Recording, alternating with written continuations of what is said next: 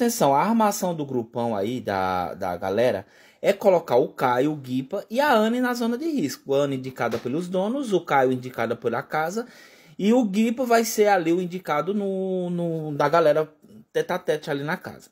Esse é o plano da galera aí, da, da Mari do Fernando. A conversa foi aqui no quarto, né? Foi aqui no quarto. Eles estão combinando geralmente fazer isso. Vocês acham que vai dar certo? É, assim, do jeito que o Haddad está fazendo, possa ser que sim, que dê certo.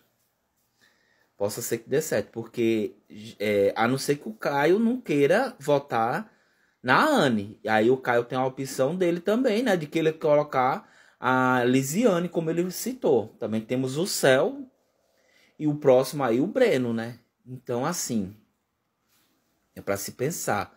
Mas é uma boa colocação essa aqui, hein? De colocar é, o, o, a Ana, o Caio e o Guipa. Será uma armação muito bem feita. Porém, colocando o Guipa, ou se o Guipa volta do, da prova de virada, ele puxa outra pessoa aí. O Caio a mesma coisa. Ele joga a Mari. A Mari pode ter possibilidade de sair. Entendeu? Se o Caio for e voltar da prova bate e volta, a prova da virada, ele leva a Mari. O Guipa eu acho que ele puxa outra pessoa ali.